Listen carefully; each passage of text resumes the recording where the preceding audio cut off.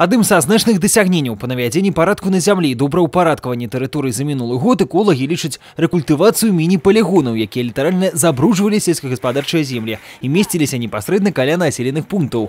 Толькі ў брэскім раёне было рэкультывавана тры міні-палігона. У гэтым годзе плануецца яшчэ столькі ж. Вообще сейчас уже на правительственном уровне э, поднят вопрос полностью по централизации всего вывоза отходов э, в, ну, в городе Бресте, Брестском районе и, в принципе, Жабенковский сейчас район. Планируется Малорицкий и Каменецкий район добавить для обслуживания мусороперерабатывающего завода.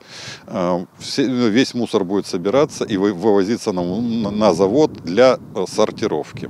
Такое рашэнне было прынята, каб павялічыць перапрацоўку другасных адходаў. У 2020 гэты паказчык у вобласці плануецца давесці до 30 процентов. Есть плановый вывоз, э, разработаны схемы по обращению с отходами, где определены э, время ну, э, заезда специализированной техники для сбора бытовых отходов, ну, графики, то есть проблем здесь не должно быть.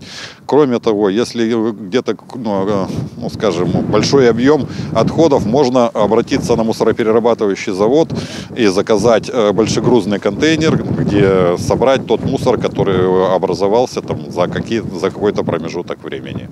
Але хоць і забаронена і міні-палігон ужо афіцыйна не існуе, людзі ўсё роўна па старой звышцы прывозяць сюды бытавыя адходы. І нават бывае, што не давозяць іх да гэтага месца, а проста звальваюць каля дарогі, так хутчэй і зручней. Так званая рэкультывацыя гэта пераўтварэнне былога буйнога сметніка ў пляцоўку для іншых гаспадарчых мэтаў. Да прыкладу, на месцы гэтага ў кавярдзяках будзе пасаджаны лес, на што адводзіцца тры гады.